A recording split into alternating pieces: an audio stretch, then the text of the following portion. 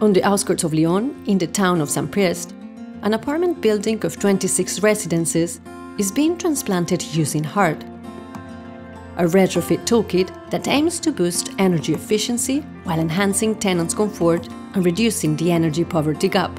The building belongs to the French public housing company Est Métropole Habitat. qui est un bâtiment qui est euh, classé en énergie G, 450 kWh par mètre carré par an, ce qui est l'un des bâtiments les plus énergivores de notre parc. Nous avons fait le choix de dire bah, prenons le bâtiment le plus énergivore et testons-le pour en faire un bâtiment autonome en énergie.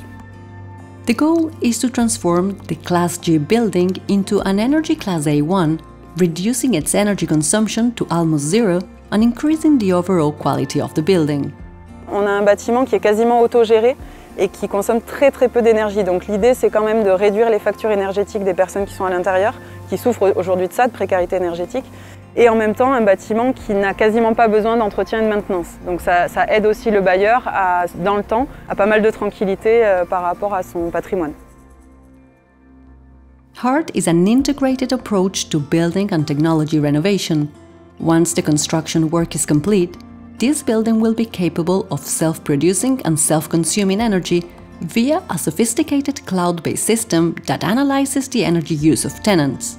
The difference with the classical renovation is we are not going step by step, but we are using a holistic approach in order to connect the elements between them. We are using the PV solar, for example, connected to heat pumps, and also all the uh, elements are managed by what we call a cloud-based platform, which is interacting with the tenants, and then we are gathering the information in order to improve the performance daily. The project is coordinated by the Polytechnic University of Milan.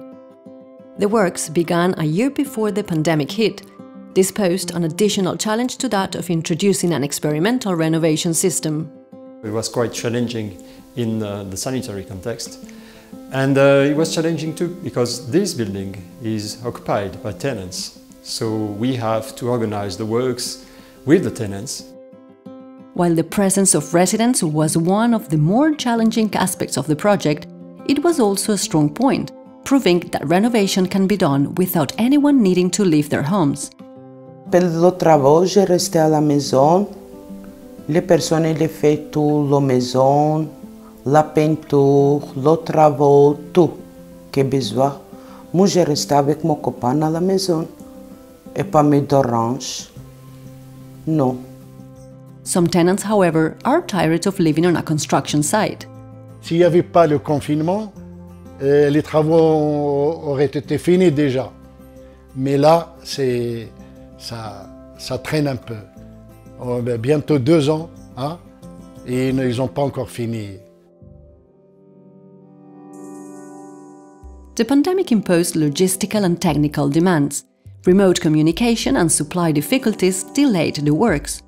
However, the experience is proving formative for partners. The whole challenge is to make it a large scale. So if we prove that it works on a real building uh, with real tenants and if you prove that it works under the climates of Lyon and the climates of Bagnolo in Italy, that will convince us that can be used also in other countries. The current renovation rate, at less than 1% per year, will need to at least double to reach the EU's energy efficiency, renewables and climate objectives. On espère euh, qu'il portera ses fruits en fait parce que bon c'est quand même hyper euh, novateur et on est, voilà si on atteint vraiment les 80% d'économie d'énergie on sera super fiers de l'avoir fait. Pour l'instant ça reste expérimental. At the heart of the green revolution, this holistic experimental system could become key to the future of renovations that transform our buildings and cities.